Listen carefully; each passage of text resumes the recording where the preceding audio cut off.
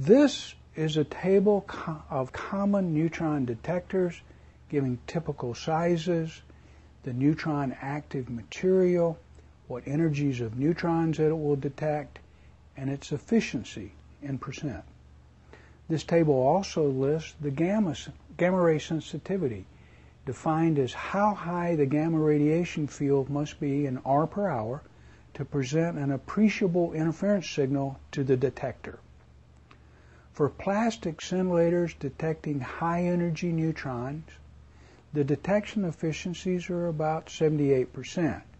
But alas, only a hundredth of an R per hour gamma will begin to interfere with the signal.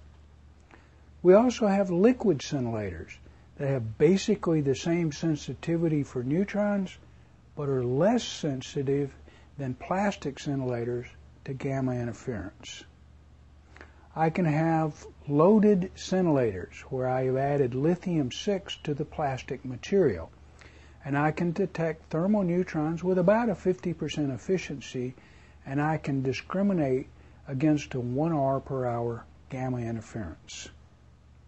I have various other fast neutron detectors here besides the scintillators we just talked about, including uh, Hornyak buttons, uh, old solid state detector kind of um, uh, detector, gas detectors filled with methane, uh, helium 4, and you can see that their neutron efficiency for 1 MeV neutrons and their gamma ray efficiencies are listed here.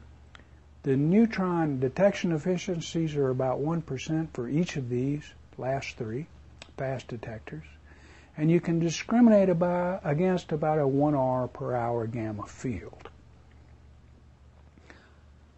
A helium-3 neutron detector with argon added as a counting gas measures thermal neutrons and has an efficiency of about 77% and can discriminate against about a 1 R per hour gamma signal.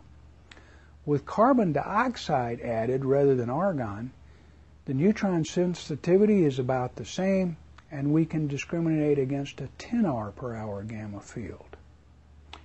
With BF3 uh, chambers, depending on the loading, I can get uh, somewhere between a 29 to 40 cents, 46% detection efficiency for thermal neutrons and I can discriminate against a 10 R per hour.